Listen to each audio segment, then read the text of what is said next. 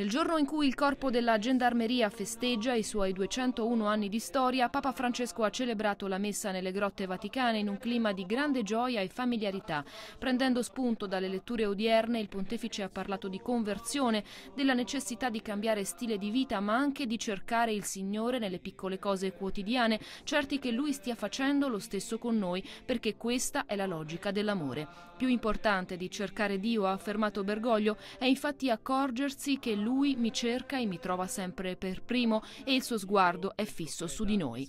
Tutti, ha aggiunto il Papa, siamo peccatori e commettiamo errori, ma il nostro Dio non si stanca di uscire per venirci incontro, come il padre descritto nella parabola del figlio al prodigo. Perciò, ha insistito Francesco, porte aperte alla grazia, ma anche fiducia nel suo amore. E chiediamo oggi la grazia, Signore, che io sia sicuro che tu stai aspettando. Sì, aspettando me con i miei peccati, con i miei difetti, con i miei problemi. Tutti ne abbiamo, tutti. Ma lui è lì, è lì, sempre. Eh, il, peggio, il peggiore dei peccati credo che sarebbe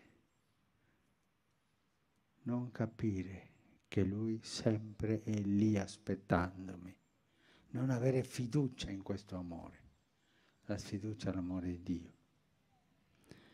Che Signore in questa giornata gioiosa per voi mi conceda questa grazia, anche a me, a tutti.